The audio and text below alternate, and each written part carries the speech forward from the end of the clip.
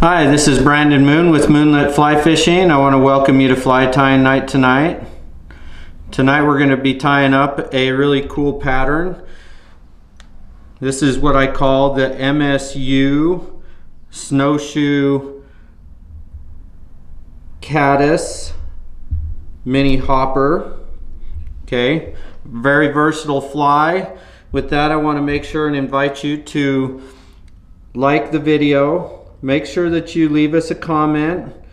Make sure that you hit subscribe and the bell to receive future notification. If you get any kind of value out of this video, we'd appreciate it a great deal if you did that for us as we try and continue to put more out and help get seen by more people. So with that, the hook that we're using today is the Moonlit Premium Tagata barbless hook, the ML102. The thread we're using is Semperfli's Classic Wax 12-aught in a rust color. So we're going to start that thread at roughly the three-quarter point in this hook. We're going to wrap and create a nice thread base all the way to the back bend of the hook where I'm going to tie in a rusty spinner colored wild barred turkey biot it's a premium turkey biot by Magpie. I'm going to tie that with the ridge side on the downside and the translucent side up top. Now I'm just going to take and create a nice little taper to my body with some thread wraps going forward and backwards. And I'll do that a little bit more on this than I would with a mayfly pattern because I want a little bit more bulk in this body. In this pattern, I fish it during a caddis hatch or as an attractor for mini hoppers, just a searching pattern at times, or sometimes if I'm throwing a smaller nymph and I don't want to throw a real huge dry, I'll throw this one with a little dropper below it. So a very versatile pattern, highly effective especially during the summer months when you've got beetles, hoppers, and a bunch of caddis hatching. So tie it in a variety of different colors as well. So once I've taken and created that little taper there, I'm going to half hitch this and set it off on the bobbin rest to the side. I'll take my hackle pliers and get that biot. Now I want to make sure that that ridge side of that biot is on the back side of this hook. And we're just going to take and use the rotary feature of the Nirvana vise to create nice even wraps and taper to this body. And we'll wrap that all the way up into that three quarter point. Now we're just going to take and secure that off with our thread. I'm going to secure that down with two wraps over the top of it. Two wraps locking it in place. And I'm going to set this off to the side just so that I can cut this biot off.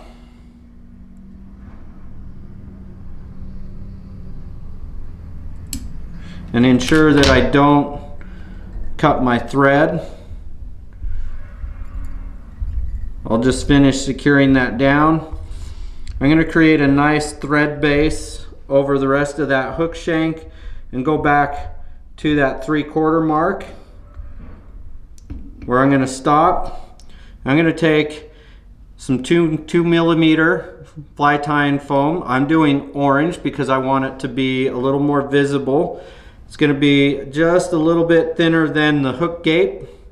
And this is a wider hook, hook gape than a normal standard hook gape as well. I'm going to have that hanging back over the body just a little bit. And we'll just secure that in.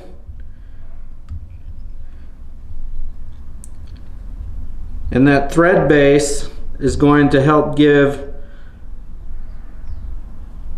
that foam and overturned wraps something to grip on. so that it stays nice and secure.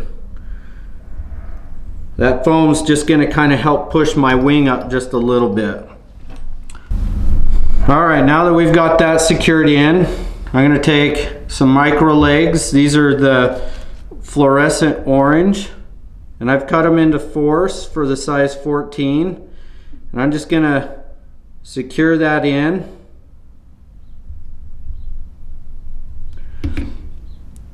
And I'll measure that so that it goes to the back of that fly.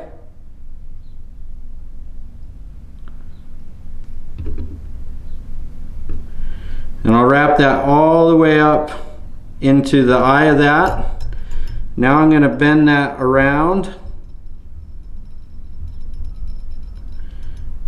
Pin it in place with the tip end of that being at the back side of that body again, just like the other one. Now I'm just going to secure those down nice and snug.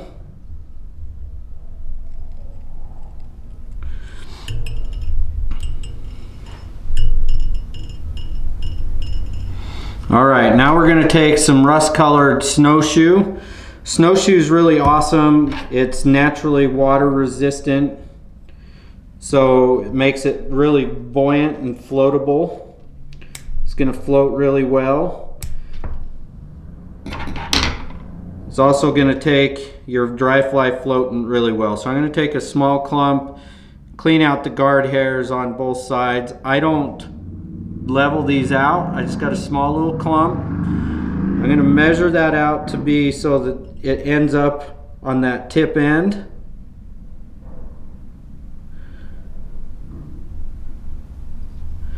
Secure that down. Now I'm going to take and trim out just the tips or butt ends of some of those fibers.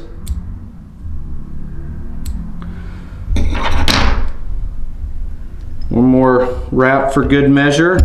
I'm going to take a little bit of rust kapok dubbing and this is just to cover up my thread. It's not to add bulks.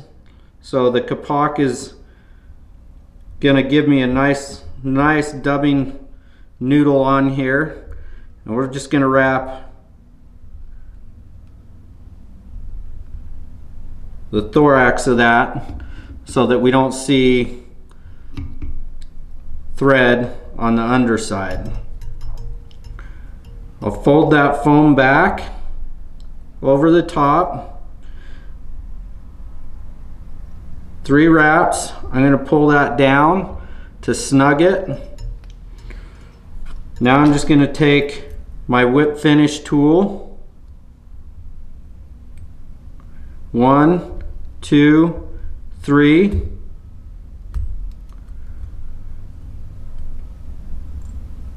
One, two, just for good measure, added safety. Another good option to do here is just add some head cement as well to help secure that down. Now we're going to trim this off just a little bit right back here. Nice and short.